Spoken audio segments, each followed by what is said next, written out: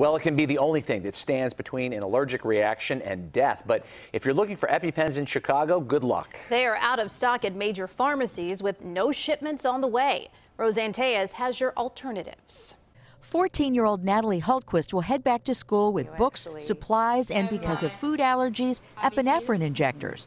Auvi-Q brand after a close call trying to get an EpiPen when she was away at camp. I opened my purse and I saw the set that I knew she normally carried. Mom called the pharmacies near camp. It was pretty frantic because they were closing in 15 minutes and she was 20 minutes away. But the pharmacies were out. The ripple effect was um, tremendous, a lot of time, a lot of stress.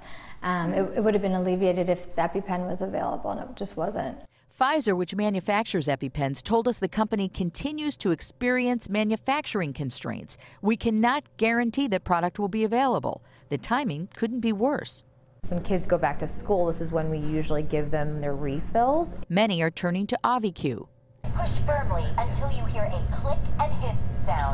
You won't find them at Walgreens or CVS, and they may not be covered by your insurance. But Hultquist, who also started a resource app for people with food allergies called Spokin, says ask your doctor and you can get them for free. It's a specialty pharmacy that Auvi-Q works with and it's in New Jersey, so they ship it to you okay. within 24 hours. I'll give one uh, set to the nurse, and she'll put my name on a plastic bag, and then I'll keep it there for the year in case of an emergency, and heck on wood.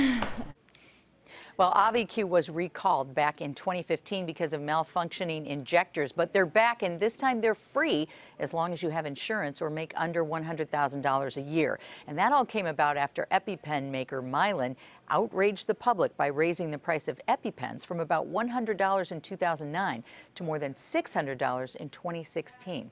In the newsroom, Roseanne Tellez, CBS 2 News. Rob, Erica? Yeah, not having those EpiPens can be a frightening prospect, Roseanne. They are critically important. Yes, they are. Thanks.